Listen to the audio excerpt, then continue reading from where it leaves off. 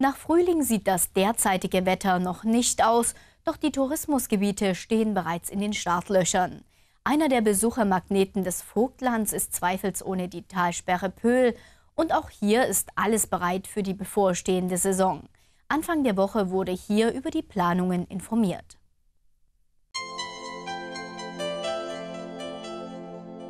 Die Talsperre Pöhl zählt zu den größten in Sachsen. Das zeigt sich auch an den Besucherzahlen.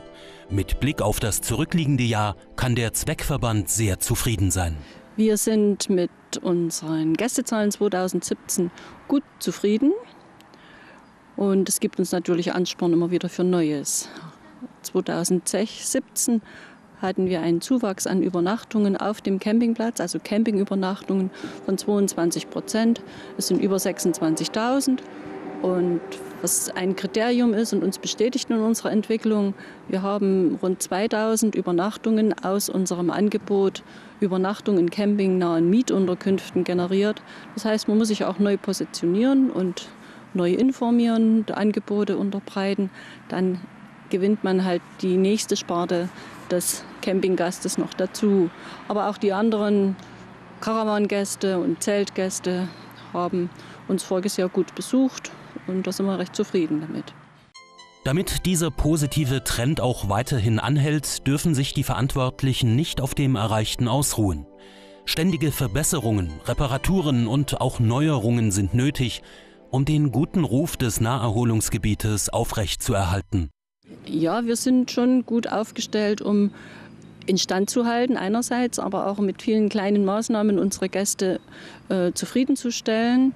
Wir haben letztes Jahr, das ist natürlich ein bisschen spät, erst zu Saisonende installiert worden, sodass wir dieses Jahr ab Saisonbeginn kostenfreies WLAN auf dem Touristencampingplatz anbieten können. An der Rezeption liegt es an, in der Gaststätte kann ich surfen und kann dort dann auch unsere vernetzte Internetseite, in dem wir alle touristischen Angebote, die hier an der Talsperre Pöhl vorhanden sind, mit den verschiedenen Touristikern, Freizeitangeboten, dass wir die sofort abrufen kann und hat sie verfügbar. Und davon versprechen wir uns auch einen Mehrwert und versuchen den Gast auch hier halt noch einen Tag länger zu halten.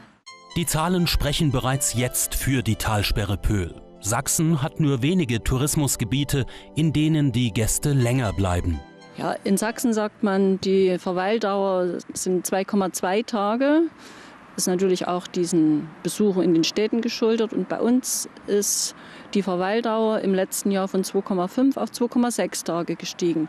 Das ist ein guter Wert. Es ist auch in anderen Regionen nicht länger. Man kämpft immer so zwischen 2,3 und 2,8 Tage. In Bayern an den Seen wird etwas länger geblieben.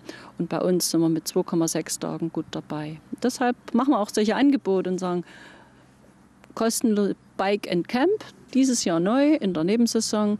Wenn du drei Nächte bei uns auf dem Platz bist, erhältst du an einem Tag zwei Fahrräder kostenfrei und kannst noch die Gegend erkunden. Oder man übernachtet an der Pöhl, um an einer der hochkarätigen Veranstaltungen teilzunehmen.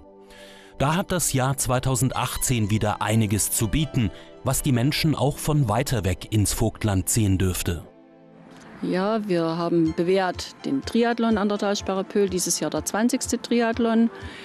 Da gibt es einen Schmankerl für die Sportler, die teilnehmen. Wir werden den Schwimmstart auf der Schlosshalbinsel haben und dazu die Teilnehmer mit unseren Fahrgastschiffen von der Schiffsanlegestelle an die Schlosshalbinsel fahren und von dort werden sie starten. Das ist etwas Besonderes, auch ein logistischer Aufwand für die Veranstalter, denke ich mal. Dann haben wir den einen der Trails for Germany, einen Salomon Trail, bereits am 6. Mai hier. Das ist jetzt keine Wassersportveranstaltung, aber eine Laufveranstaltung, die unsere, unser Areal gerne nutzen wollen. Und das stellen wir natürlich zur Verfügung und unterstützen auch bei der Vorbereitung und auch bei der Durchführung. Dann gibt es die offenen sächsischen Schwimmmeisterschaften im Freiwasserschwimmen, also in einem offenen Wasser. Die finden zum vierten Mal im August hier bei uns statt. Und aus solchen Veranstaltungen gewinnt man ja auch immer wieder mal einen Übernachtungsgast, vielleicht einen Camper, der dann Lust hat, noch mal hierher zu kommen.